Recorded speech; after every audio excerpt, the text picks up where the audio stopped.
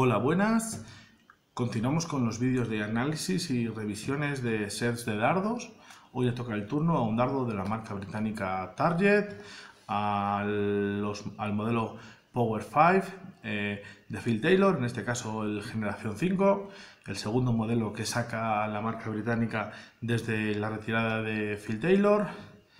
Eh, vamos a analizar como siempre el unboxing, que es lo que la caja que estáis viendo ahora mismo.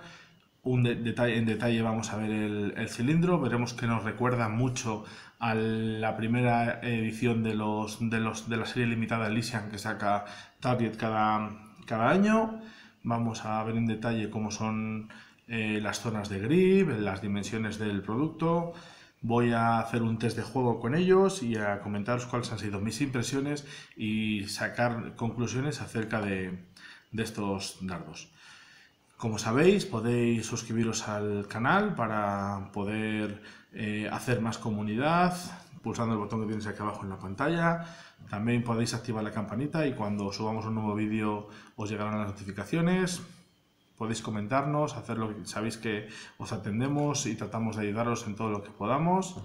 Pues sin, sin nada más, comenzamos a la review de los dardos Power 95 eh, Generación 5 de Target y vamos con el unboxing.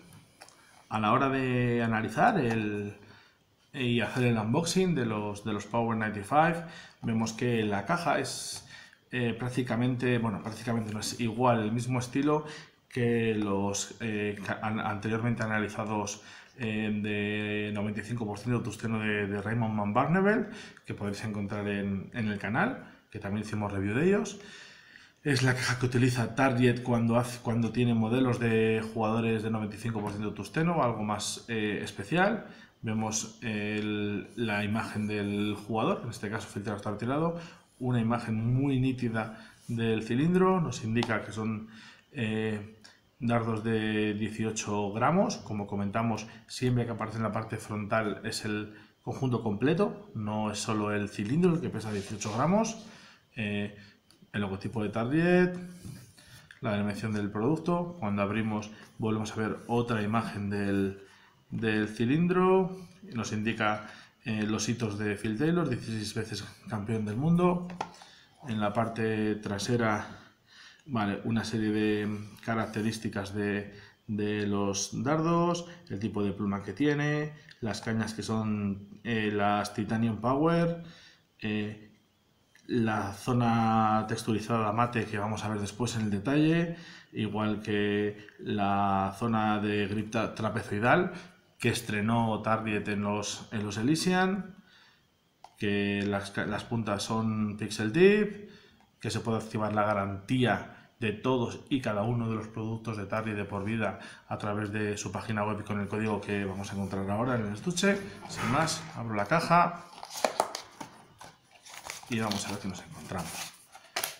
Vemos los dardos con la típica espuma, por la parte trasera está lo que os he comentado, que es un pequeño catálogo promocional de Target y la, garantía y la certificación del peso de los dardos y de que están calibrados, como es habitual en todos los productos de, Target. Los dardos enganchados en la, en la, espuma, que es muy cómoda, como hemos dicho, y sinceramente poco más. Es una caja que ya hemos visto en varios modelos, que es resultona y sinceramente es una buena presentación para ser Bueno, pues vamos al, a, la vista en, detalle. Cojo un dardo y aparto el resto de, del material y nos quedamos con él.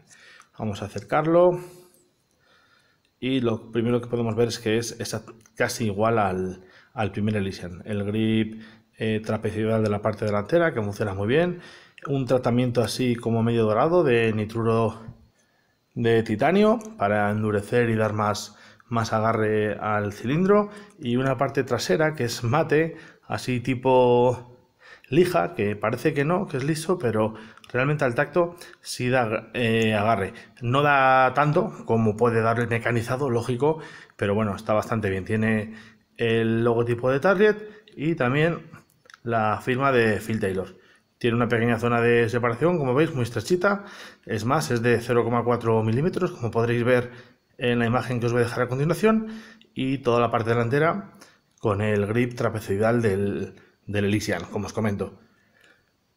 Este dardo para funcionar con él, o sea, y jugar, pues no queda más remedio que agarrarlo por aquí, porque realmente la parte trasera, aunque tenga un poco de grip, no hay prácticamente control sobre el dardo.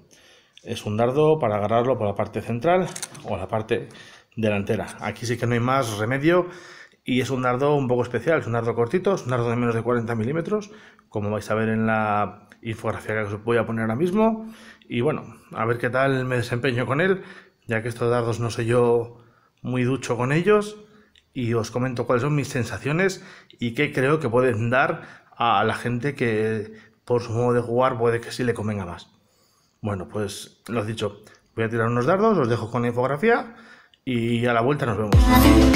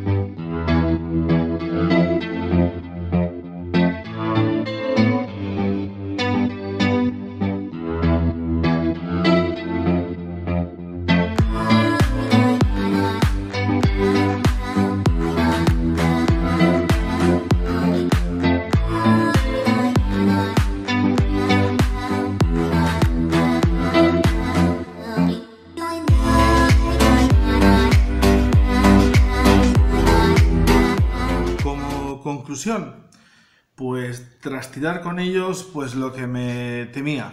Es un cilindro muy corto, muy especial para agarre delantero, o sea, es un producto muy exclusivo, es por decirlo de alguna manera, tanto por precio como por diseño, que es impecable, no podemos decir que el dardo no sea bonito o sea estiloso, pero a mí personalmente, que he tirado con las cañas y las plumas que uso habitualmente, que son unas plumas estándar HD 150 y unas cañas eh, MIDI.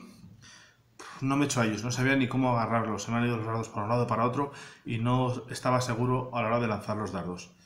No quiere decir que sea mal producto, todo lo contrario, es muy buen producto, pero es un producto tal vez muy específico para jugadores que le gustan los dardos cortos, ligeramente gruesos, que lo agarran por la parte delantera. Entonces, hay una serie de requisitos que si no cumples, el dardo es muy difícil que se adapte a tu forma de, de jugar. Y lo que siempre digo, nunca debemos adaptarnos nosotros al dardo, que sea el dardo el que sea válido para nuestra forma de jugar. Nunca cambiemos nuestra mecánica o nuestro modo porque al final es cuando surgen dudas y hay algún tipo de problema. Así que en cuanto a estuche, en cuanto a forma, diseño, el producto es impecable, pero no puedo sacar conclusiones eh, de reales a la hora de jugar con ellos porque por mi tipo de lanzamiento y como soy yo como jugador, no tengo capacidad para decir si realmente el producto es estable, va bien, interpretamos que sí, por, porque Target tiene un historial en el que ya sabemos que hace productos muy buenos, pero mis conclusiones no las puedo determinar en base a, a las sensaciones de juego porque es que sabía que iban a ser muy malas. Así que sin más me despido, espero que os haya servido de ayuda. Si tenéis cualquier tipo de duda con respecto a este producto, sabéis que podéis hacerlo en los comentarios del, vídeo. Esperemos que, que os haya gustado y nos vemos en el siguiente. Game on, pasadlo bien.